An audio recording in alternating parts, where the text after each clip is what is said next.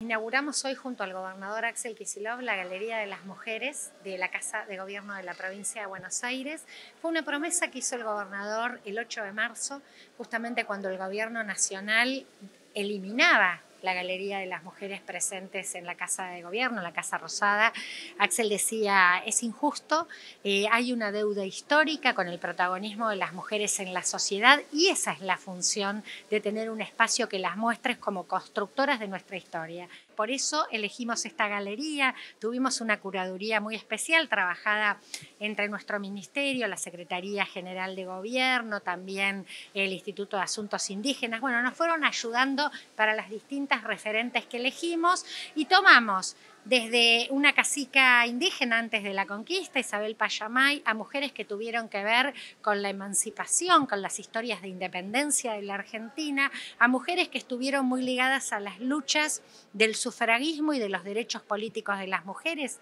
en el principio del siglo pasado, después referentas emblemáticas en la ciencia, en la literatura, en el deporte,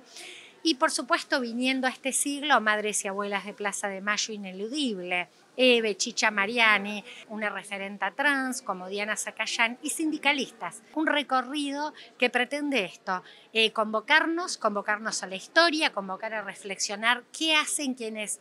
representaron y fueron símbolo en esa historia, pero que nos hablan de otras miles que no conocemos. Así que bueno, muy, muy conformes que en tiempos donde nos convocan discursos de odio, de resentimiento, de discriminación, al contrario, acá nos abraza una muestra que hace historia, que hace presente, pero que también es una convocatoria de esperanza para adelante.